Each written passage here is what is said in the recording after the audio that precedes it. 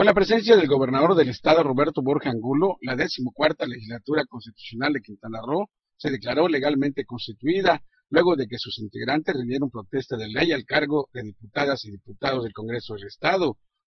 También se eligió al diputado José Luis Toledo Medina y a la diputada Berenice Polanco Córdoba como presidente y vicepresidente de la mesa directiva para el primer mes del primer periodo ordinario de sesiones del primer año de ejercicio constitucional.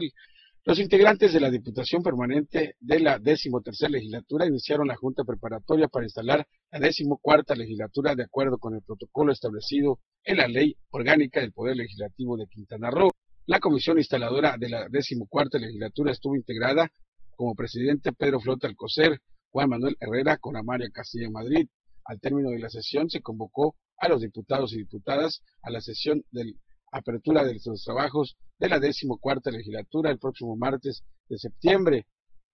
La decimocuarta legislatura del Congreso del Estado quedó integrada por los diputados y diputadas Arlet Molgra Glover, Maribel Villegas Canché, Coramalia Castilla Madrid, Marciana Fernández Peña, Susana Hurtado Vallejo, Berenice Polanco Córdoba, Maritza Medina Díaz, Perla Tut Pech, María Trinidad García Argüelles, Emilio Jiménez Ancona, Filiberto Martínez Méndez, Jesús Paul Mo Juan Carrillo Soberanis, Pedro Flota Alcocer, José Luis Toledo Medina, Mario Machuca Sánchez, José Chacón Arcos, Juan Manuel Herrera, Roberto Estrada Barba, Pablo Fernández Lemen Meyer, Martín de la Gómez Cruz, Sergio Bolio Rosado, Hernán Villatoro Barrios,